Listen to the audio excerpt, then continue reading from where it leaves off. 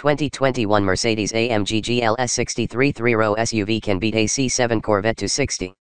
As the most powerful 3-row ute currently on the market, AMG's redesigned ballistic people mover deploys 603 horsepower with astounding speed and refinement. Automakers are always looking for white space in the marketplace.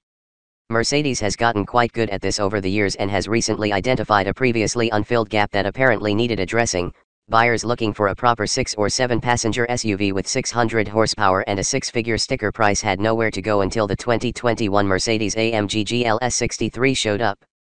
Highs 603 horsepower, extended family friendly, luxurious interior trappings.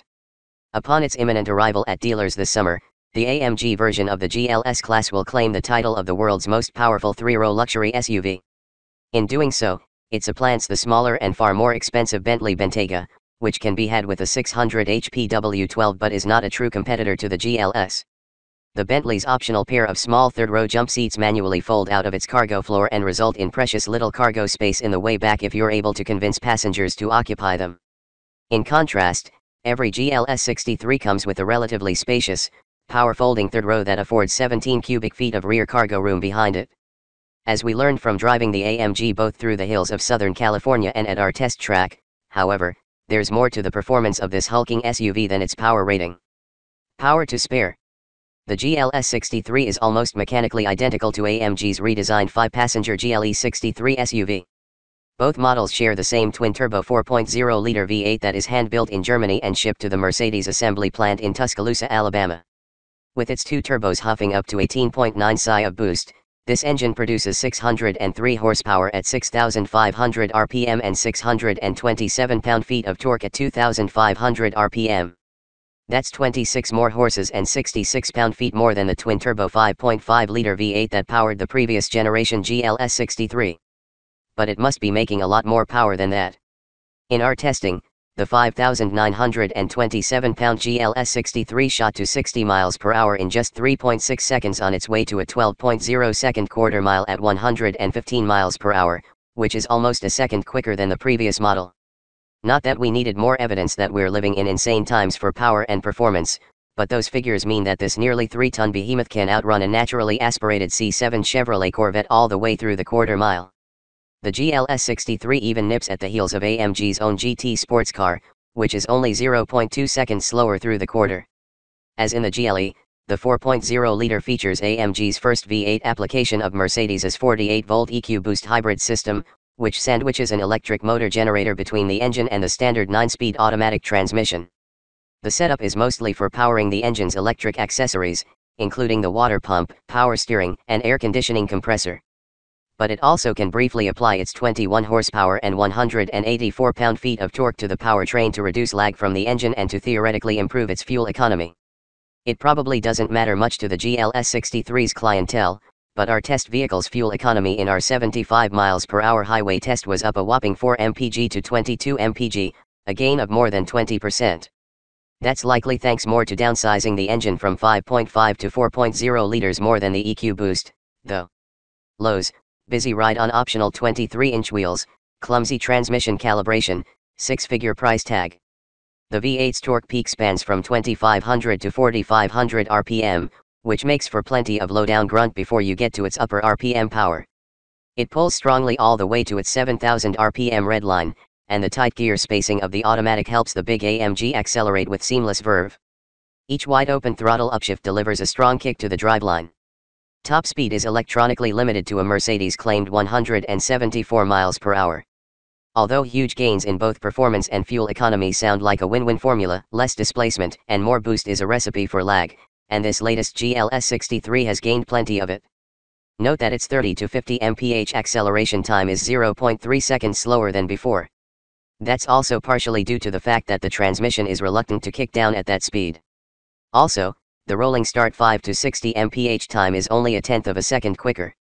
We often use the difference between the 0 to 60 and 5 to 60 times as a measure of lag. In the GLS 63's case, that delta grew from 0.7 second in the previous gen model to 1.2 seconds. We also found a 9-speed transmission, which is responsive and snappy around town, to be a bit clumsy for spirited driving on twisty roads. It often upshifts when entering corners and is easy to catch out in too high a ratio. Toggling the transmission's manual mode and using the shift paddles on the back of the steering wheel helps in this regard. But gear changes still don't happen quickly enough.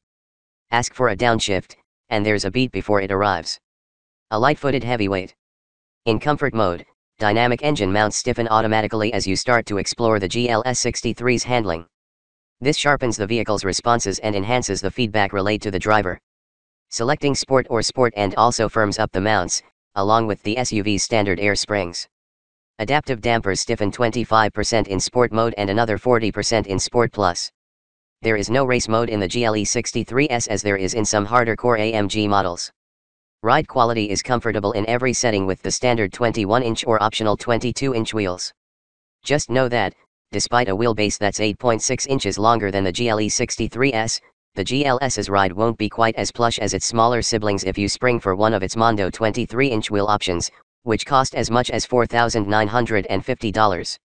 And it's not just the large wheel jitters, there's some odd undulations in its ride that can make it feel more discombobulated and aloof than before, which is possibly a side effect of trying to coax this vehicular elephant into dancing like a lighter beast.